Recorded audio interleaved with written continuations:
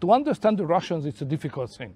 So when we speak about politics, I, I mean Westerners, what is the focus point of our conversation? The focus point is freedom. How to provide more and more freedom to the people. When you speak on politics in Russia, this is not the number one issue. The number one issue, how to keep together the country. That's generate a different kind of culture and understanding of politics.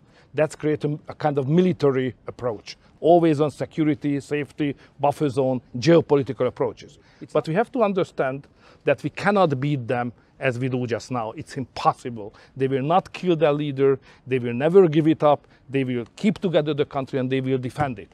We finance more, they will invest more. If we send more technical equipment, they will produce more. So don't misunderstand the Russians. So they're not going to get sick of Putin and throw him out? Come on, it's a joke.